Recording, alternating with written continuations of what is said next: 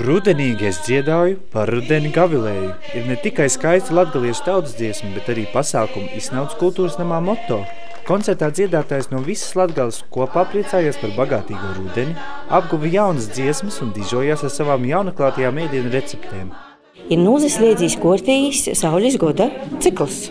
Rudiņš saulētē īt guļāt, zemētē īt atsapūstīs, īzastojās teic pordūmu laiks, kad cilvēkam ir beidzot atelpa pēc uh, vasaras skrējiņa.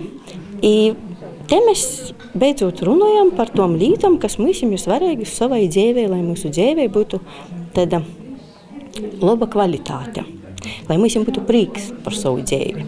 Pasākuma namamātes iznaudas folkloras kopas dalībnieces uzsver, ka vārdu jādod tiem, kas ciemos atbraukuši, un tā arī notika. Ciemiņi no Bakus pagastiem Ilzes kalna un Bārsgalas dziedāja gan par auglību un jumi, gan par nesenajām lietavām un rudens skaistumu.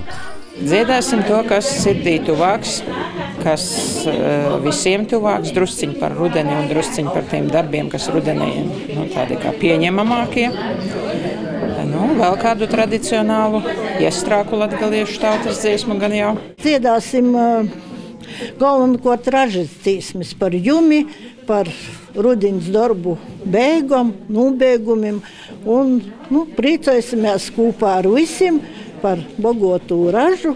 Pasākuma lielākais notikums bija dižošanās ar ziemas krājumu jaunajām receptēm, gan pašu domātām, gan no senčiem mantotām, gan žurnālā izlasītām. Galvenais mērķis bija tās iepazīt un mācīties citam no cita. Jebkurā darbā, jebkurā notikumā ir atsevišķi staidas dzīsmis, ko mēs gribam parodēt citiem.